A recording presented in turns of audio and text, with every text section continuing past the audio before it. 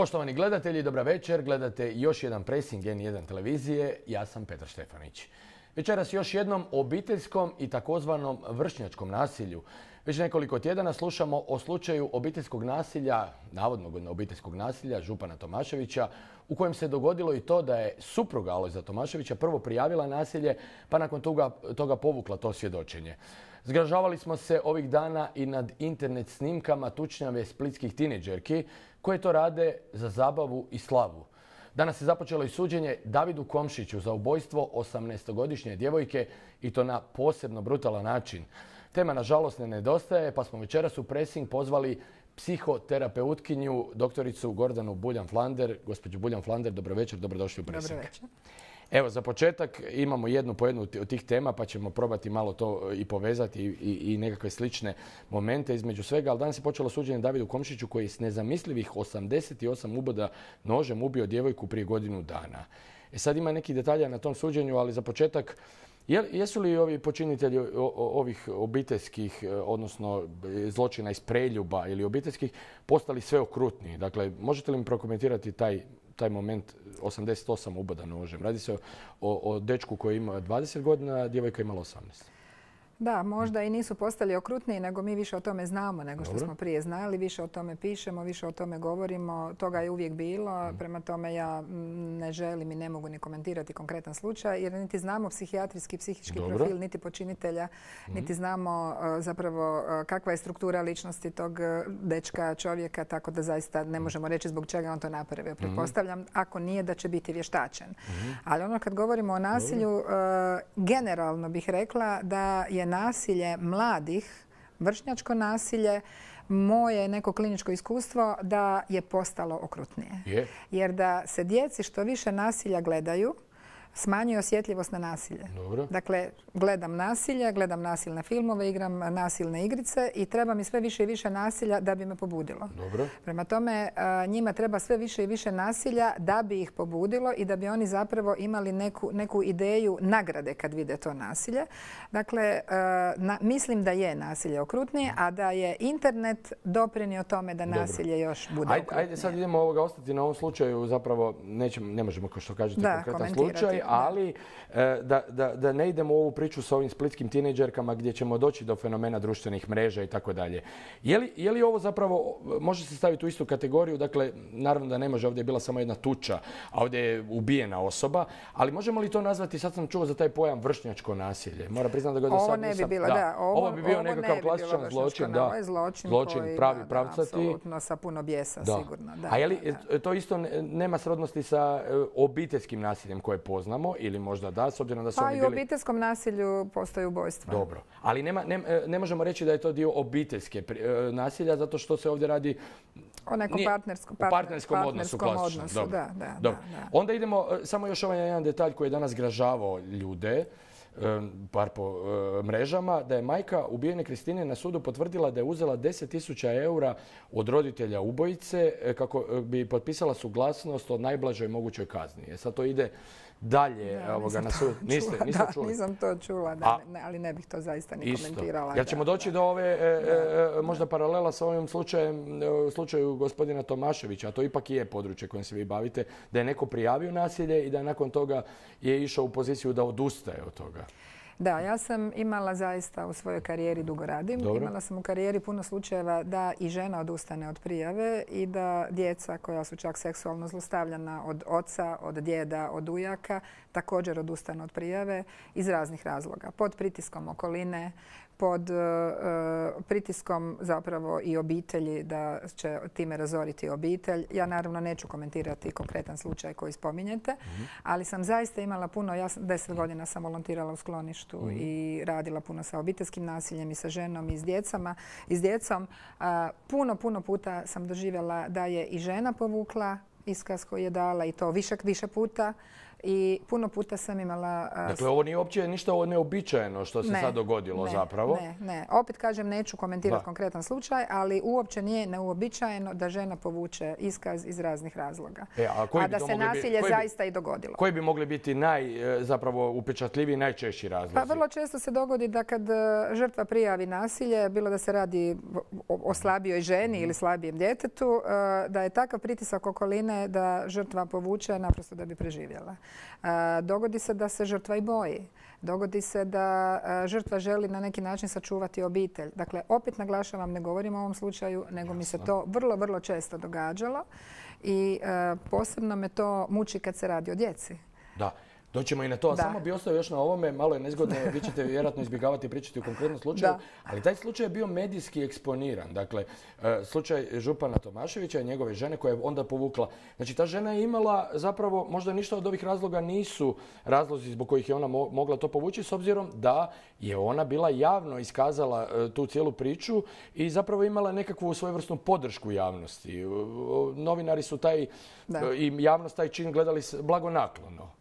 Da, da. Ja kažem, e, ne znam gospođu i da znam ne bih smjela komentirati. Kad ne znam, opet ne smijem komentirati, nije etički i zaista ne bih komentirala. Dobro, ajmo, ajmo onda ovo što, što, što je izašlo prije neki dan na portalu Index.hr. Dakle, vrlo potresno pismo 12, 12-godišnje djevojčice koju je zlostavljao očuh. E, u tom pismu je jedna rečenica koja je mnoge zgrozila e, u kojoj je ona napisala zadnjoj rečenici želim da mama bude sretna pa će i mene voljeti E sad, e, to pismo ste, ste vi ipak ustupili e, e, indeksu. Jeste. Dajte nam onda to pojasnite. Dakle, ovdje se radi, ne znamo o kome se radi. Da, li tako? ne znamo o kome se radi. I to je jedna djevojčica koja više nije djevojčica, to je sad odrasla žena. Mhm. To je jedno pismo staro 7, 8, 9 godina. I ta djevojka nakon 18. godine je meni dala suglasnost da mogu pismo koristiti u edukativne svrhe i u svrhe podizanja svijesti o tom problemu. Mhm. I da javnost zapravo shvati koliko je djeci teško koja su seksualno zlostavljana, koja su doživjela, govorimo dakle o nasilju u obitelji, ovo je bilo nasilje i u obitelji, seksualno zlostavljanje, ako ne dobiju podršku okoline. Nažalost, takva djeca vrlo često ostanu sama samcata na svijetu, jer e, mama stane na stranu počinitelja, baka stane na stranu počinitelja, rodbina stane na stranu počinitelja, dijete zapravo onda ne može ni ostati u toj obitelji, izdvoji se u dom onda mame nazivaju i rodbina tu djecu u dom, povuci iskaz, vrati nam tatu iz zatvora.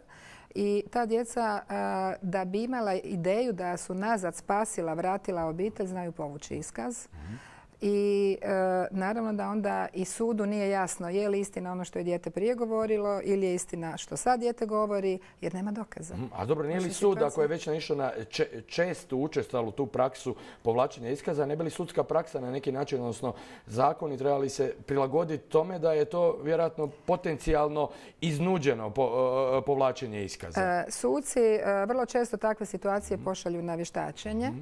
i onda stručnjaci mentalnog zdravlja, psihijatri, psihijatri, psiholozi procjenjuju je li dijete ima kapacitet za vjerodostojan iskaz, koji su bili motivi za davanje jednog ili drugog iskaza. Dakle, vještačkim nalazom se to najčešće razjasni.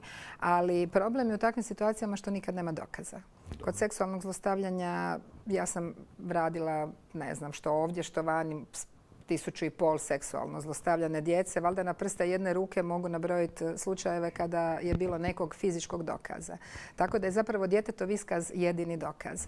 I zato je važno da onaj koji razgovara s djetetom, koji provodi forenzički intervju, da bude stručan, da zna dječju razvojnu psihologiju, da zna kako će pristupiti djetetu i kako će dobiti povjerenje djeteta i da dobije iskaz.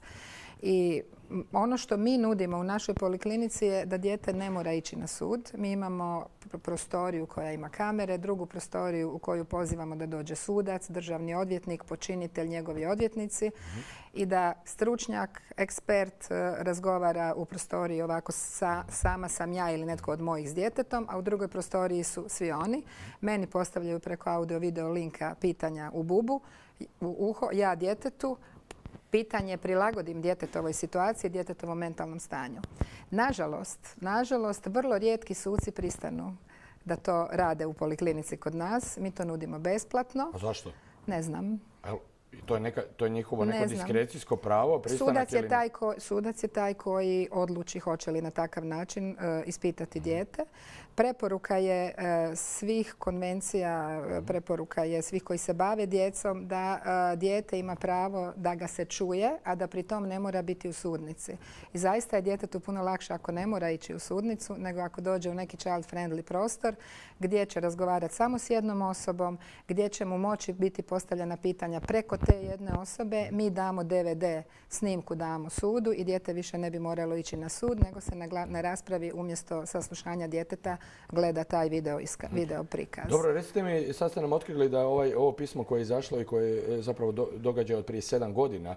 Možda i, više, i da. više, da. Li, znači radi se o već odrasloj osobi. Da. Je li, jel nam možete otkriti je li ta uh, djevojčica sada uspjela prevladati tu priču? Je, je, je. je, je. Ona, je bila u tretmanu. Ona je, ona bila u tretmanu i zapravo ti tretmani dosta dugo znaju i trajati i jako je važno da je imala barem podršku e, psihoterapeuta i gdje je mogla govoriti o svojim tugama, o svom osjećaju obilježenosti, o svom osjećaju da je ona razorila obitelj. E, dakle, trebala joj je e, podrška osobe izvan obitelji jer u obitelji nije imala podršku i nažalost, nažalost, puno je takve djece koja izgube podršku u obitelji nakon što kažu što im se događalo. I kad baš govorimo o takvim situacijama, upravo zbog ovoga što sam vam rekla, prosjek vremena od kako se zlostavljanje događalo do kad se o tome progovori je 10 do 16 godina. 10 do 16 godina? 10 do 16 znači, godina. podatak je da sa 4 godine obično počinje zlostavljanje. Da, obično dakle. počne negdje s 4-5 godina, kreće zapravo na neki način zavođenje djeteta, dodirivanje, pipkanje i onda ide sve dalje i dalje. E, nažalost, ginekološki nalaz e, kod dokazanih slučajeva seksualnog zlostavljanja je u 70% slučajeva uredan Dakle, ne postoje tragovi mhm. kojima će se dokazati mhm. da je to bilo. Dakle, kod onih gdje su počinitelji priznali, u 70% slučajeva je nalaz uredan. Dakle, opet nemamo dokaza. Mhm. I znanje počinitelja nije e, dovoljno? Nemamo fizičkog dokaza, naravno da je dovoljno, ali kažem, nema fizičkog dokaza. I čak i u tim slučajevima, da, dobro. Da, da, zato što seksualni zlostavljači su djeci poznate osobe. Jedna trećina su mama, tata, očuh, mačeha, deda, ujak.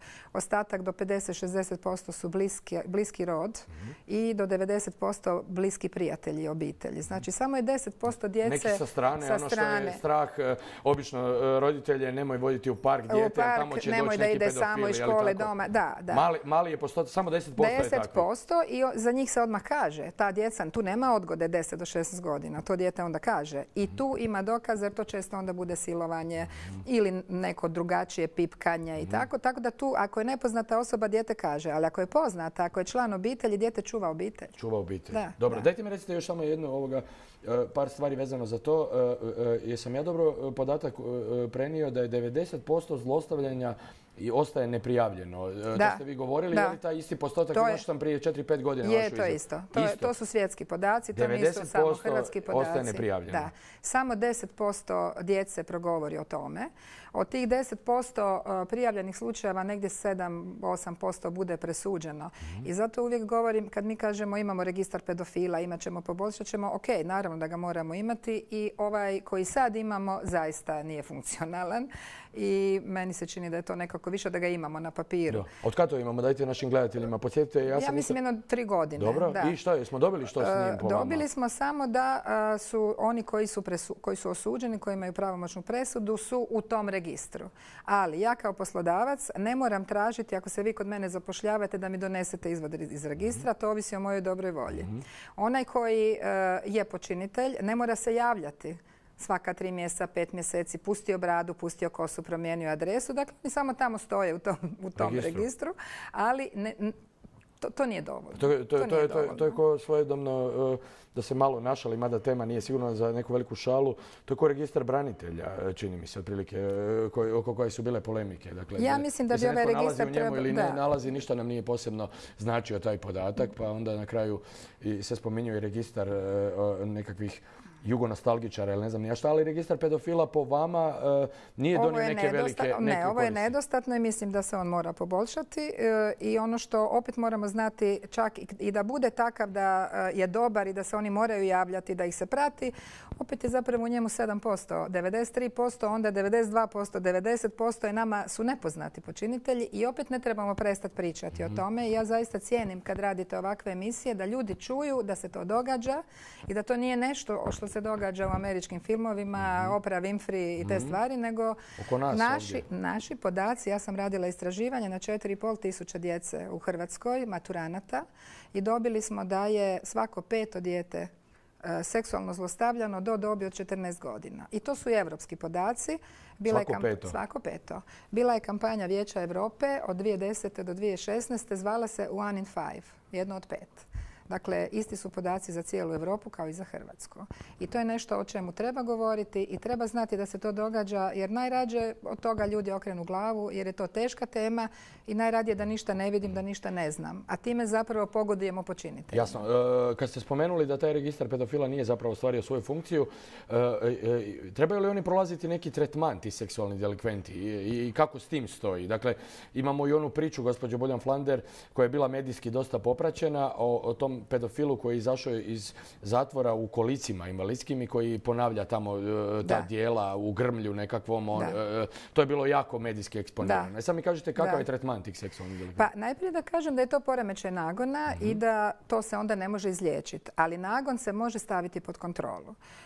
Ja sam radila tretman kad sam bila mhm. na specijalizaciji u Americi s pedofilima u jednom zatvoru i imam podatke baš iz tog zatvora i uopće iz nekih američkih istraživanja da oni koji prođu tretman i zatvor, dakle tretman mu ne smanjuje kaznu, nego u zatvoru prolaze tretman, kad izađu istraživanja kažu negdje 7% njih ponovi dijelo. To znači recidivisti, takozvani da, 7%. Da, a ako ne prođu tretman, nego samo zatvor, onda će zapravo frustraciju koja se nakupljala u njima dok su u zatvoru, najprije kad izađu rješavati tako da će tražiti opet neko novo dijete. Mhm. E, oni e, koji nisu prošli tretman, nego samo zatvor, 40 do 70% njih ponovi dijelo. Pa su Amerikanci radili e, financijski izračun što im se više isplati. Mhm. Više im se isplati uložiti u tretman u zatvoru, mhm. jer E, kad ponovi dijelo, onda mu opet slijedi 10-15 znači godina zatvora. za nas koji nismo baš stručnjaci, kako izgleda taj tretman? E, to je, psihoterapija? Da, to je kognitivno-behavioralni tretman mhm. gdje se njih uči empatiji, gdje se njih uči e, da shvate kako se to dijete osjeća i gdje ih se uči kako će taj nagon staviti pod kontrolu.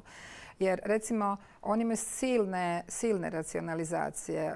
Kad sam ja s njima radila u, u tom zatvoru, onda su mi znali reći pa nije bilo penetracije, pa to nije zlostavljanje. Mhm. Pa bilo je njoj ugodno e, ili mom, djetetu je bilo ugodno, pa nije bilo zlostavljanje. Mhm. njih u tom zatvoru bilo 200 e, seksualnih zlostavljača. Kazne su bile najniža 15 godina do doživotne i svi su znači bili u tretmanu i baš sam mogla vidjeti razliku između onih koji su tek došli u zatvor, koji su davali silne racionalizacije i opravdanja i onih koji su prošli tretman, koji su shvatili da te racionalizacije zapravo e, nisu baš jako, jako realne. I ono što je mene zaprepastilo kad sam s njima radila, Većina su bili oženjeni i većinu su ih žene čekale da izađu iz zatvora. Stale su na njihovu stranu, ne na stranu djece. I ono što mene žalosti... A njihova djeca su bila zlostavljena? Svoju vlastitu djecu najčešće. I ono što je moje iskustvo, a zaista sam imala puno takve djece, je da vrlo često sam imala upravo takvu situaciju da mama stane na stranu počinitelja, kao što ste vidjeli i u ovom pismu koje ste spomenuli. Ali to, je li to ta želja za čuvanjem obitelji da, također i od strane žena? Ili, mislim, može li se to na bilo koji način razumjeti s obzirom da e, e, izražava određeno zgražanje i ovo pismo koje ste da, vi sad poslali? Da, teško je to razumjeti i naravno da izaziva u nama ljutnju da mhm. e, majka ne, ne, zaštiti i ne stane na stranu svog djeteta ali e, razni su razlozi naravno i teško je vjerovati da to radi neko koga si ti izabrala za partnera. Mhm. Teško je vjerovati da to radi vlastiti deda, vlastiti otac i zato je nama jako važno da istovremeno dok radim s djetetom radim s nezlostavljajućim roditeljem, s mhm. mamom. Mhm. Samo mi, još recite, idemo na prvu e, pauzu sa reklamama, ove kazne zatvorske i usporedba, spominjemo stalno Ameriku, SAD i kod nas, samo da dobiju naši gledatelji nekakav dojam koliko, koliko su te kazne... E, e, e, Primjerene. Da, i koliko je to u SAD-u recimo, jer sami ste rekli da je nama pojam pedofilije još uvijek u nekakvoj općoj strukturi i razmišljanju kao da je to nešto što se, kako ste sami rekli, događa u američkom filmu. Da, da. da. Kazne? Pa, iako ja radim sa žrtvama i radila sam s puno žrtava, mislim da su apsolutno naše kazne preniske. To je do koliko godina recimo Pa znaju oni dobiti 15 godina, ali nekako dobiju manje. dobiju manje. I mislim da uz te kazne bi trebali i provoditi neki tretman, stručnjaci s njima. I čini mi se da koliko god postoji i veći raspon kazni, da oni dobivaju preniske kazne. Uglavnom ove niže Jer onda je, pa ja ne mogu reći, ja ne, pratim sve mhm, kazne, mhm. ali ovo što meni kažu žrtve koji su kod mene u tretmanu, e, to zaista njima onda kad je kazna preniska šalje poruku, pa onda i nije tako strašno to što je on napravio e, ili ovo rad za opće dobro. Pa to je sramota. To je sramota da netko koji je... Zamjena postoji za ta dijela isto rad za opće dobro. Ima, pa bilo je po novinama. Da, dobro, da, jasno, kao što je ministar Čobanković, ali ovo još izgleda gore kad se čuje naravno mnogo. Meni je prestrašno da pedofil koji je uništio život jednom djetetu guli krompire ili mete ulicu. E, samo još jedna stvar, ako sam dobro shvatio, doživotna kazna u Americi postoji za takva dijela također. Da, dobro. Hvala gospođo Voljan Flander za sada. Idemo na naš prvi blok reklama. Večeras govorimo o nasilju raznom takozvanom vršnjačkom, seksualnom nasilju, nasilju obitelji. S nama je Gordana Buljan-Flander. Ostanite dalje uz Pressing.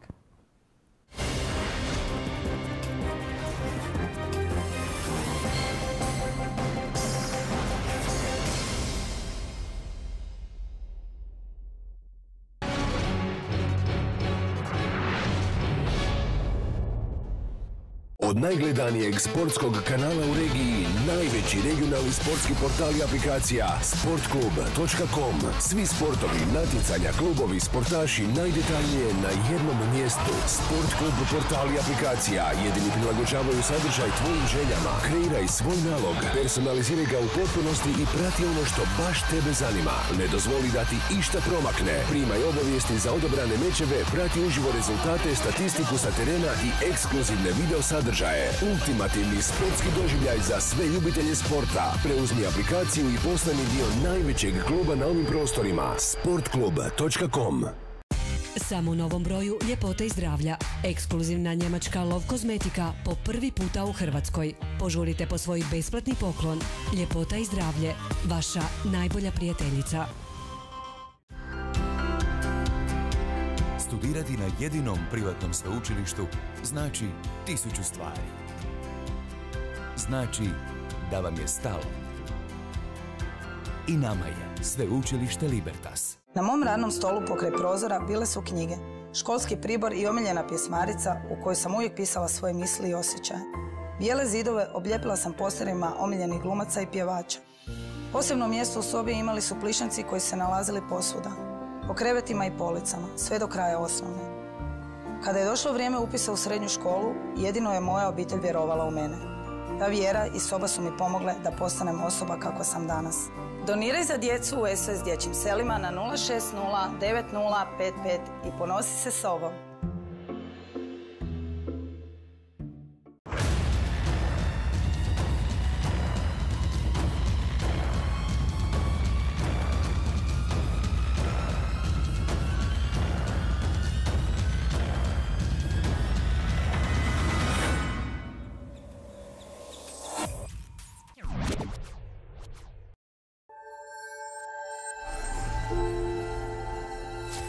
20 godina vrhunskih rezultata i brojnih međunarodnih priznanja. Garancija su uspješnog rješenja svih oftalmoloških problema po najvišim svjetskim standardima. Oči u oči sa svijetom. Sveti vid, specijalna bolnica, Dobračina 27, Beograd.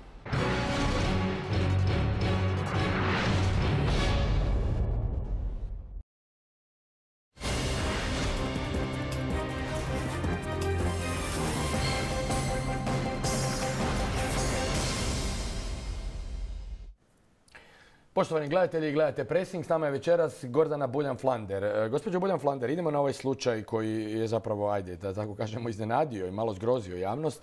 Split, e, tučnjave organizirane. E sad, za početak prvo, radilo se o djevojčicama, a ne o dječacima.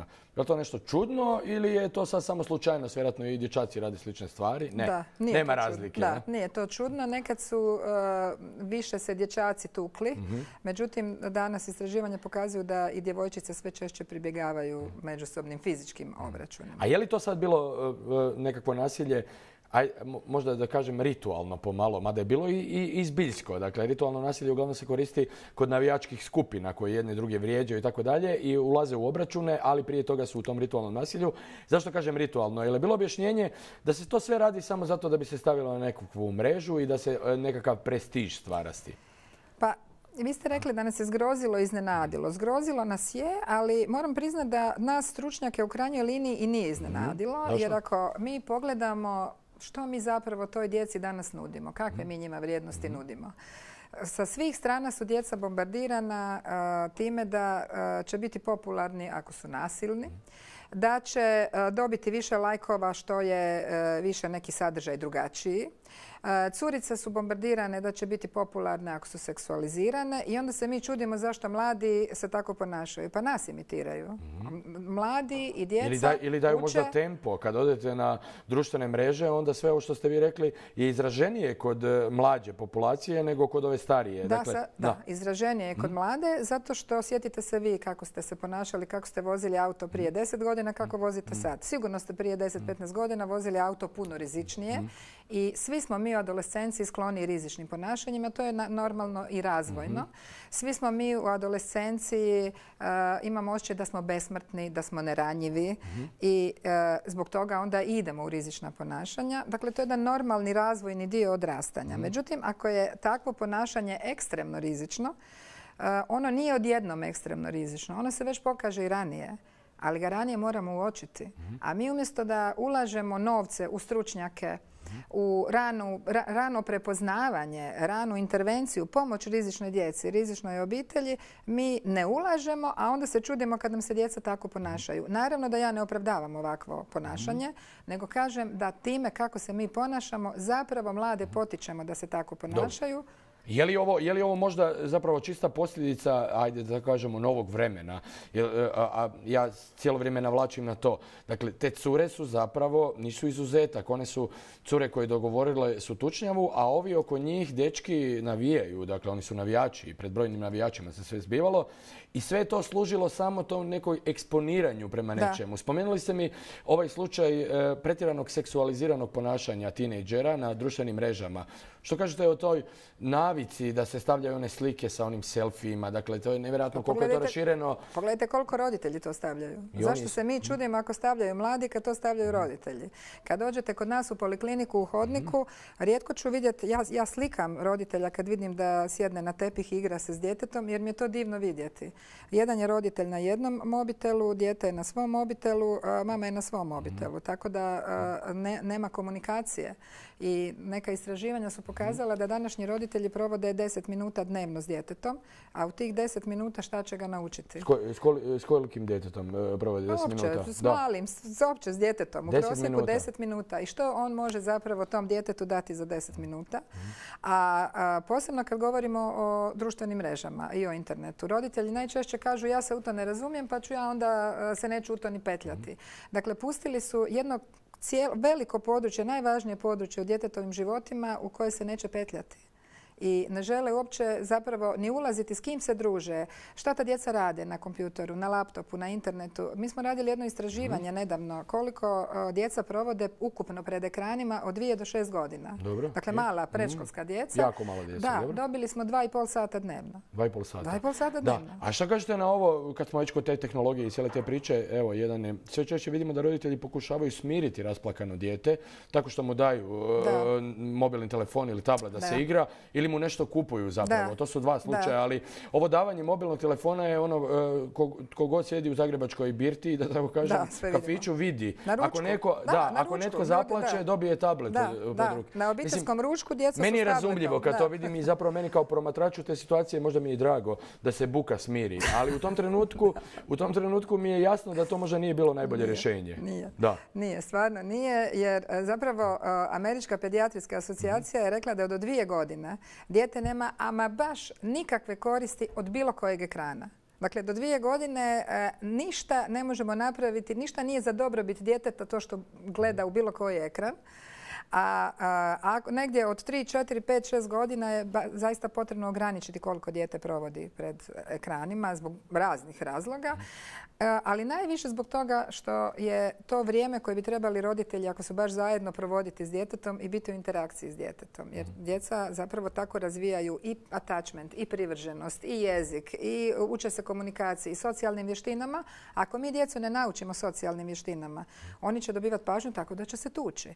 Oni će htjeti e, imati osjećaj pripadnosti u grupi tako da će navijati i neće pomoći jer nisu razvili, niko ih nije naučio da smiju biti drugačiji mhm. i da je u redu biti drugačiji i zaštititi žrtvu ili razdvojiti nekoga ko se tuče. Mhm. Evo često govorimo, gospođo Buljan Flander, da ova današnja djeca imaju nekakvo drugčije djetinstvo, recimo od vašeg ili od mojeg. Da. E, se slažete vi s tim da je to neka druga vrsta odrastanja s obzirom na sve ove okolnosti?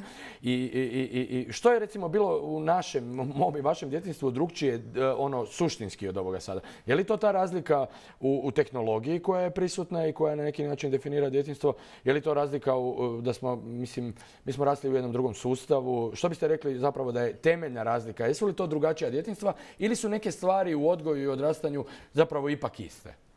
Pa e, naravno da roditelji imaju uglavnom iste vrijednosti, mhm. ali ja nikako ne bih htjela optuživati roditelje jer naši roditelji užasno puno moraju raditi da bi preživjeli. Mhm. Mi smo u situaciji takvoj kakvoj jesmo. Roditelji moraju raditi dodatne poslove. Djeca su prepuštena sama sebi. Mi smo radili jedno istraživanje na tisuću i pol djece od četvrtog razreda do drugog razreda srednje škole i dobili smo zapravo da djeca provode na Facebooku isto užasno puno vremena, ali 95% djece koja provode na Facebooku tri sata i više kažu da bi radije provodila vrijeme u druženju negdje vani s prijateljima ili na nekim slobodnim aktivnostima. To je vrlo zanimljiv podatak. Da. E sad, tko je odgovoran? Mhm. Mi. Mi smo im ponudili virtualno igralište jer nam je to najjednostavnije. Ovo što vi kažete, damo djetetu tablet i mi smo mu ponudili virtualno igralište i dijete uzme ono što smo mu ponudili. Koja je razlika? Vi ste imali, i ja kad smo išli u školu, imali smo literarnu, košarkašku, ovu aktivnost, onu aktivnost, sve u školi besplatno. Mhm. Danas baš nemate puno ni besplatnih aktivnosti u školi. Djeca, roditelji ne mogu platiti e, da se djeca nečim bave, ponude im ovo što im ponude i zapravo nemojmo kriviti djecu. Mi, mi moramo nešto drugo ponuditi toj djeci. Ja uvijek kažem kao primjer mladi na hrabrom telefonu. Mi na mhm. hrabrom telefonu imamo 200 volontera. Mhm. To su djeca druga, treća godina fakulteta koji e, volontiraju, koji uče, koji se javljaju na telefon, ali moramo ponuditi neku humanitarnu aktivnost, mhm. neki rad i oni vrlo rado to prihvate. Evo, e, kad ste spomenuli hrabri telefon, to pitanje sam isto imao spremno, da je ove godine, da tako kažemo, punoljetan hrabri telefon. 20. 20. A ja sam mislio da je 18, moja greška, ali 20. Jesu li vidljivi pomaci zapravo u tih 20 godina. I zvonili, više e, onaj za djecu ili za roditelje? Pa moram reći da u zadnje vrijeme čak i više zvoni za roditelje. Roditelji su stvarno zbunjeni mhm. danas. E, mhm. Sa svih strana su isto bombardirani savjetima. Odgaje ovako, odgaje onako. Mi im pričamo, ja prva, nemojte tući djecu, ne smijete tući djecu, ali e, i onda oni pomiješaju pravo djeteta na odgoj bez batina s pravom djeteta na odgoj bez granica. Mhm. I zaista... Tu griješe roditelji, zapravo ta, stigma je da, se djecu ne, smije tući, dakle to je nekako ušlo u mainstream. Danas niko ne smatra da je batina izašla iz raja, bar čini mi se većina velika, ali s druge strane... Ali ne znaju kako postaviti granice. Je li tako? s druge strane sam svjedočio i sam situacijama i vjerojatno i svi mi, kada je to ode u drugu krajnost, pa onda vlada nekakva krajnja permisivnost u odgoju gdje zapravo dijete zavlada obitelji i ono zapravo dijete zlostavlja obitelji. Se može tako reći ili to ne politički nekorektno? Ja bih rekla ovako, da je to jednako zanemareno mm. dijete kojemu je sve dozvoljeno mm. i kojemu se ne postavljaju granice kao i dijete kojemu se ništa ne da. To je jednako zanemareno dijete. Roditelji imaju svoju roditeljsku odgovornost postaviti granice, voditi dijete kroz život. Jer šta je disciplina? Da ja vas sad pitam šta je disciplina, šta biste vi rekli? Vjerojatno bi rekli nešto, neki odgoj, neke ljudi mhm. kažu batine. Disciplina je vodstvo kroz odgoj. Mhm. I to dijete ima pravo na vodstvo kroz odgoj. A roditelji odustanu od te svoje roditeljske odgovornosti jer evo ne smije ga tući. naravno da ga ne smiješ tući, ali postoje drugi načini kako ćeš odgajati dijete i postavljati mu granice. Možeš mu ukinuti neke privilegije, možeš mu ukinuti neki ekstra filmić, crtić za laku noć. Možeš mu ukinuti neku igru e, popodne ispred zgrade ako e, mu treba neka sankcija, neka, neka, neka posljedica njegovog ponašanja. Ali e, i drago mi je da smo dotaknuli ovu temu jer mislim da je važno da roditelji čuju da će dijete puno prije napraviti nešto što smo ga pohvalili nego što nešto neće napraviti jer smo ga istukli. Jer djeca žele udovoljiti roditeljima. I važno je da im pohvalimo poželjna ponašanja. I na taj način ćemo razvijati poželjna ponašanja. Dobro, recite mi još samo u ovom sektoru oko, recimo, ajde da kažemo, odnosima u normalnim obiteljima, smo krenuli sa ovim pedofilskim slučajevima zlostavljanja, sad govorimo o normalnom odrastanju što gotovo bilo. Jesu li zapravo, jesu li roditelji nekad bili pametniji e, kada je riječ o djeci i njihovom odgoju? Dakle, to bi bio možda jedan stereotip koji kruži. Nekad su roditelji znali bolje s djecom. To se vjerojatno da, čuje. Ja sam, čula sam puno puta. da. Pa nekad je roditeljima bilo i lakše jer nisu, bili, nisu djeca bile izložena svim tim mhm. utjecajima. Mhm. Nije bilo ni toliko nasilja oko djece. Imali smo e, određene vrijednosti je davala crkva, određene vrijednosti je davala škola, određene vrijednosti su davali roditelji. A danas su roditelji zapravo u jako teškoj situaciji jer su oni ti koji moraju stati između onih vrijednosti koji se nameću djeci sa svih strana i, i, svojih obiteljskih vrijednosti koje mhm. nude djeci. Nemaju vremena prenijeti na njih obiteljske vrijednosti. Bombardirani su raznim savjetima odgaja ovako, odgaja onako. Onda, uh, To je isto jedan kaos u kanalu, vjerojatno. Ide se na internet, vjerojatno, pa se čita pa kako treba čita, odgajati naravno, Doktor, Google, doktor Google sve zna. Mhm. Da, tako da mislim da je zaista važno danas da država bude na neki način puno veća pomoć roditeljima. Nekad su postojala savjetovališta. Ja se sjećam kad sam radila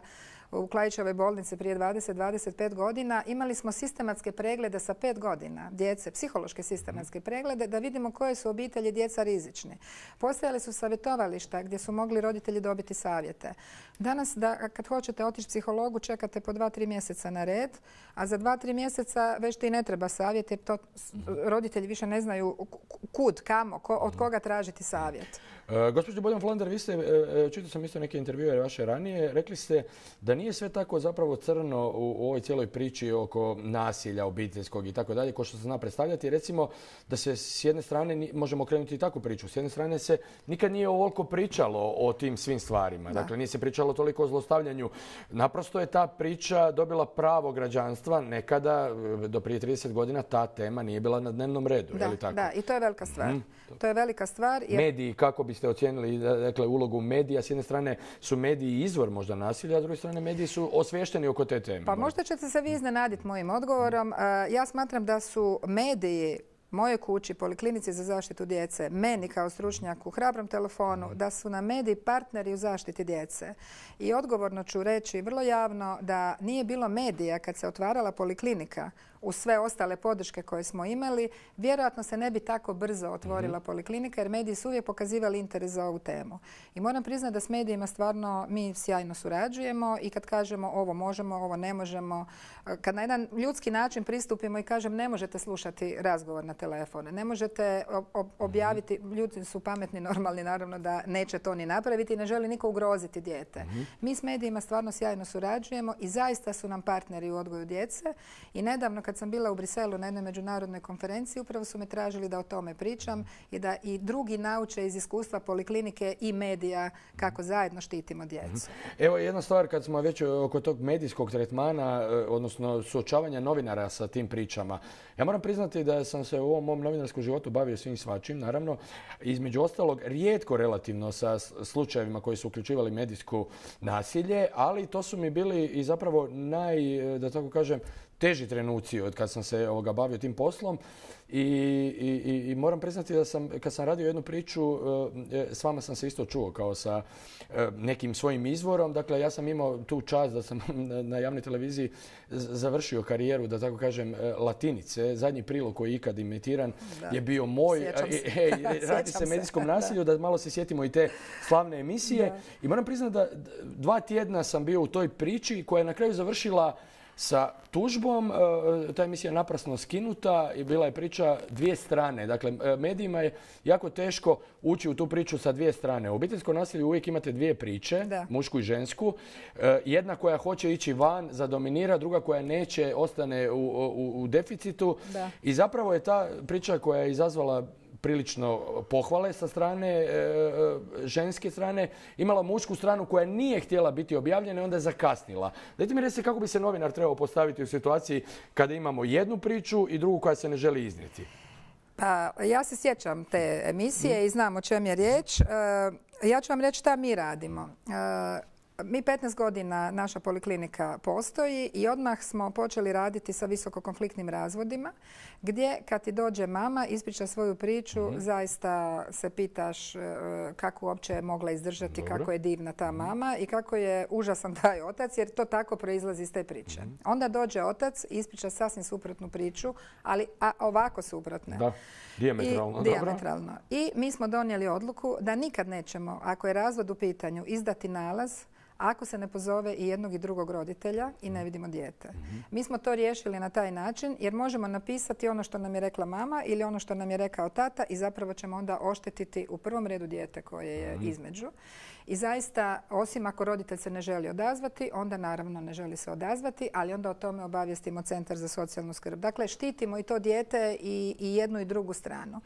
Ja mislim da je i u medijima jako važno kad izađe priča da se čuje jedna i mhm. druga strana. A koliko su tu novinari po vama zapravo skloni možda e, e, ići, recimo, ajde recimo da su žene slabija strana u tim pričama, ići na tu žensku priču, ajde da tako kažemo, po defaultu i, onda na neki način, jeste li, e, jeste li imali ovoga uvida da je bilo takvih slučajeva? Vi koji ste upućeni u... Pa hm? ne, ne, ne, nisam hm? toliko to pratila, niti bi tako nešto uočila, ali ono što je meni naj najvažnije, ipak kako se bavim djecom, meni je najvažnije da što god pišu u, medijima da se čuva dijete i da se čuva privatnost djeteta jer znate to dijete to ostaje, danas sve, sve ostaje zapisano. I to dijete će jednom otići na internet i vidjet će priču o mami, o tati.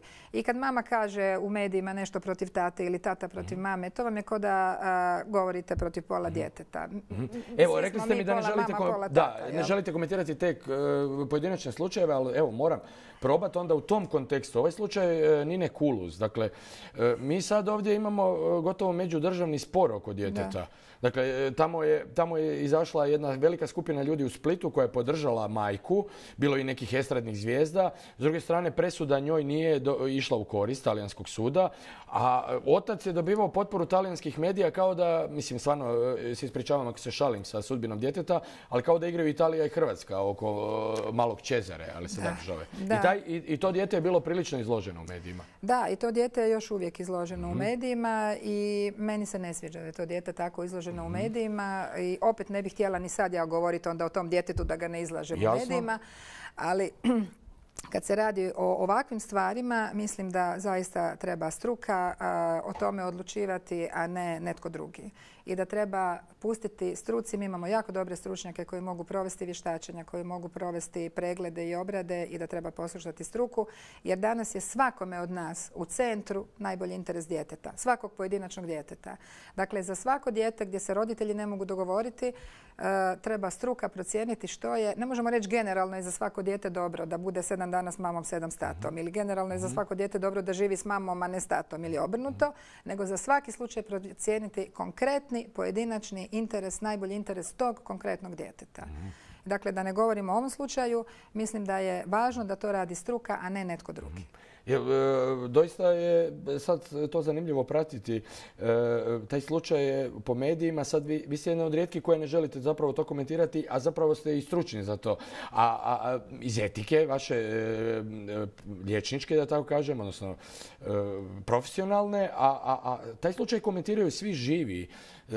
i živi i nemili i da tako kažem dolaze u studiju nekakvi fenomenolozi opće prakse pa onda razgovaraju o slučaju nekakvog djeteta za koji ne mogu oni uopće imati uvid o tome što se to događa. Upravo, upravo sam to htjela mhm. reći. Mislim da je zaista važno da znamo da dijete ima pravo na privatnost i da nijedno dijete ne smijemo komentirati i izlagati medijima. Vi ste čitali koji ja da postoje djeca koja su tužila svoje roditelje jer su ih stavljali na Facebook, jer su stavljali njihove slike, slike na Facebook. Ja razgovaram s djecom i znate da puno više djece želi da imaju pravila o postavljanju slika i sadržaja na Facebooku u obitelji nego što to žele roditelji.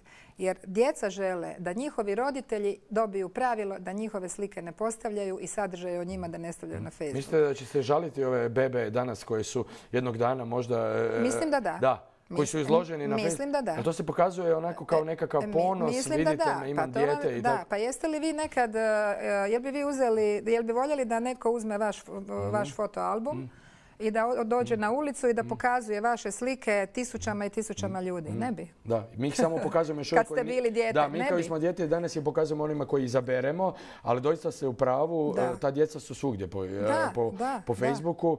Moram priznati da sam i sam jednom e, ovoga, doživio, dakle ja svoju vlastitu djecu nemam, ali ih- nečakinjom sam se išao pohvaliti i onda sam shvatio a i dobio sam sugestiju, možda nije dobro da se baš razbacuje sa slikama po Dobro- svom dobro Facebooku. ste i dobili sugestiju. nakon toga pametno Da. i dalje sam e, ovoga, e, ne radim sličnu stvar. Gospođo Buljan Flander, hvala vam za sada. Idemo na našu drugu pauzu. Poštovani gledatelji, večera se s nama Gordana Boljan Flander i u nastavku emisije par njenih stavova oko nekakvih, ajde da kažemo, izjava koji se tiču njene prakse, odnosno njene profesije, a imaju veze i s politikom. Ostanite i dalje uz pressing.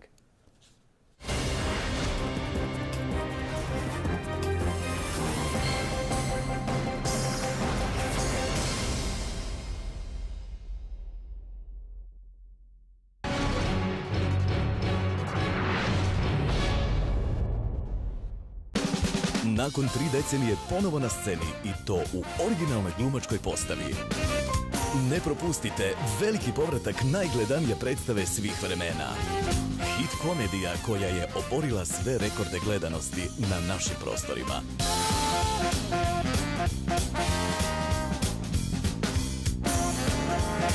Audicija.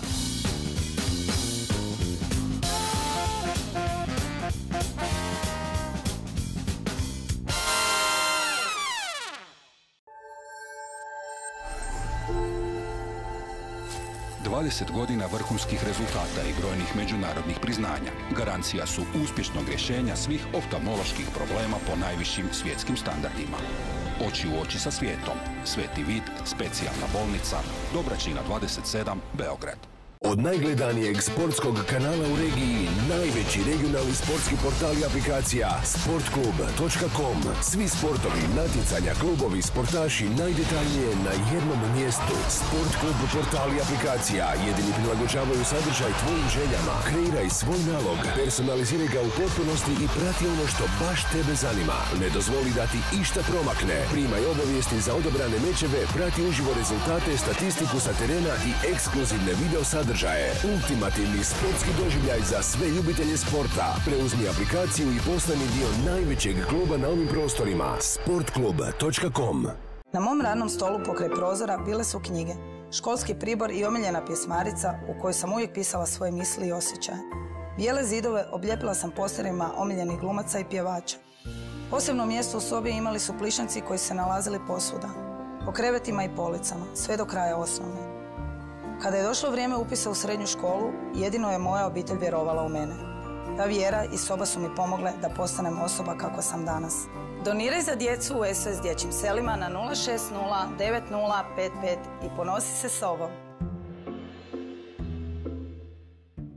Pozor, nova tehnologija uništava tržište slušnih pomagala. Stavi ovaj uređaj u uho i čuti ćeš čak osobe koje govore tiho, nerazumljivo ili iz velike udaljenosti. Ovaj uređaj je podjednako dobar kao i slušni aparat od 11.000 kuna, a dobit ćeš ga u klubu za popust za samo 1800 kuna. No ni ovo nije sve. Naruči u narednih 15 minuta i dobit ćeš popust od čak 80% i platit ćeš samo 359 kuna. Provjeri sada na www.dobarsluh.com.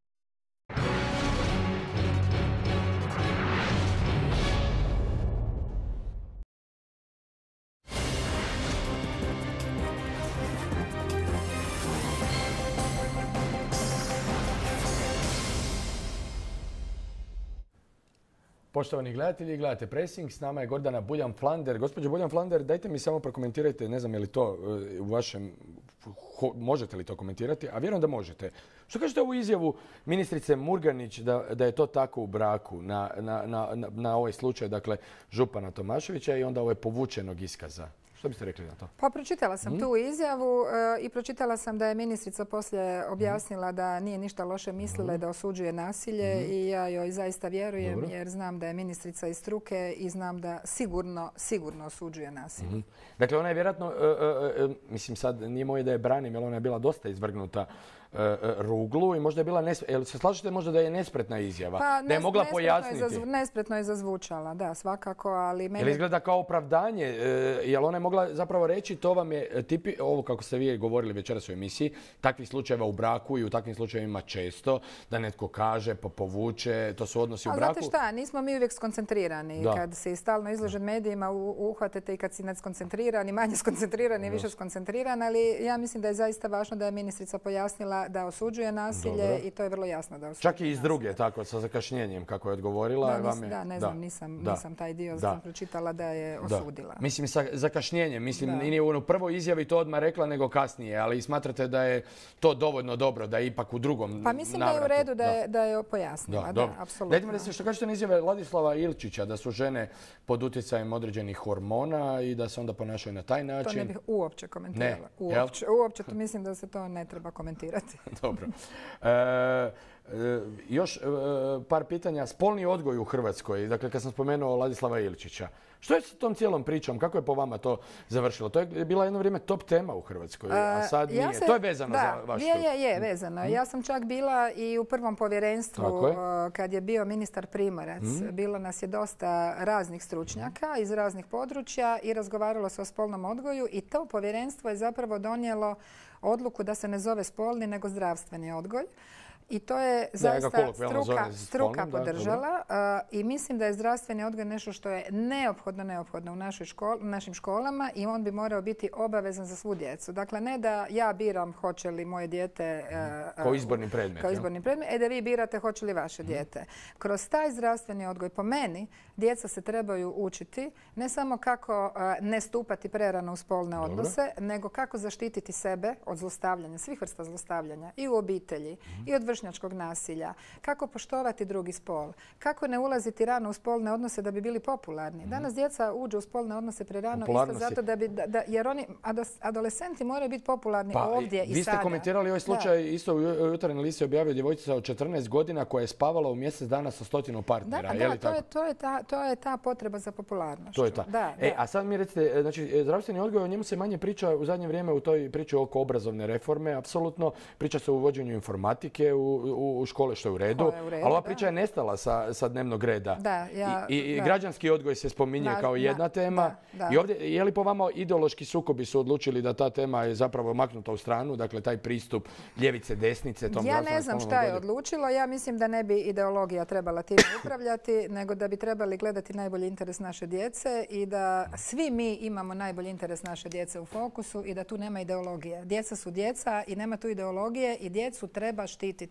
A znate šta ih štiti? Informacija i edukacija. E, još dva, tri pitanja do kraja. Samo, e, kakvom je stanju hrvatsko zdravstvo po vama, gospođo Buljan Flander? Prije neki dan smo čuli da smo pali na toj rang listi i da su nas čak i susjedi e, pretrčali ovi, recimo iz jugoistočne Europe, da ne kažem Balkana. Ja nemam dovoljno informacija o tome zaista, ali ono što znam je dosta putujem po svijetu i e, kad gledam kakvu imaju druga djeca u europskim zemljama zdravstvenu zaštitu, mislim da naša djeca imaju dobru, kad govorimo o djeci jer se s njima bavim, mhm. da imaju dosta dobru zdravstvenu zaštitu, ali da bi trebalo još više ulagati u zdravstvenu zaštitu, posebno djece, mislim da da. Da, odlazak liječnika iz Hrvatske, jel ljudi iz, recimo iz ove vaše struke isto imaju trend odlaska iz Hrvatske? pa više imaju liječnici nego psiholozi, i ova naša struka mentalnog zdravlja, ali e, ja vam mogu reći, e, ja imam brata koji je liječnik u Norveškoj i e, on e, se može vratiti, nije mu financijski toliko potrebno, ali njegov je komentar da on se više ne bi vratio u Hrvatsku naprosto zato što je naučio živjeti u jednoj uređenoj državi gdje je sve predvidivo, gdje je sve stabilno i da bi se teško više naviknuo. Dobro, to je poseban skok bio prema Norveškoj, vjerojatno e, zemlja sa a jedna od najbogatijih zemalja na svijetu. Bogati i uređeni. Da, da, bogate mi uređene. Samo mi recite još za kraj, gospođo Boljan Flander, E, baš me zanima hoćete li to prekomentirati, bar na razini načela.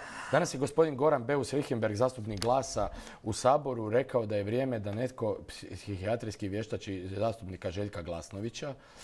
E sad, e, ako, ako vam se ne komentira Željka Glasnovića i možda potreba da se on vještači e, psihijatrijski, jel bi se možda trebalo psihijatrijski vještačiti saborske zastupnike in general? Ja vam zaista neću na to pitanje odgovarati jer je provokativno. A zašto? A kao načelno je, dakle radi se o, saborskim zastupnicima. Zašto? Ne vidim zašto bi ih psihijatrijski vještačili A zaista. Možda, jednog, možda nekog od njih eventualno ako radi nešto. Je li ovo politički pa. onda iskaz od Gorana Beusa Richemberga, a ne neki stručni koji bi zahtjevao neku stručnu... Pa. Dakle, on se pozvao danas na psihijatrijsko vještačenje, kolege. Pa da, ja čujem u Saboru da ljudi kažu svašta jedni drugima, mhm. kao i, na nekim, i, i, u nekim drugim parlamentima. Ja mislim da to takve izjave e, ne daju dobar primjer niti našoj djeci kad govorimo o mhm. tome kako se naša djeca ponašaju i da zaista moramo paziti kako se izražavamo u javnosti. Dakle, poziv za psihijatrijskim vještačenjem vam se ne čini baš možda prihvatljiv iz pozicije struke. Ne, ne. ne. Dobro. Gospođo Buljan Flander, hvala vam što ste večeras došli u Pressing i pogovorili o svim ovim aktualnim temama. Hvala vam. Poštovani gledatelji, bio je to još jedan Pressing, zadnji u ovome tjednu. Vama poziv, naravno, ostanite i dalje uz program N1 televizije u 22 sata je dnevnik. Ostanite uz naš web portal, kao i uvijek, poziv da budete uz N1.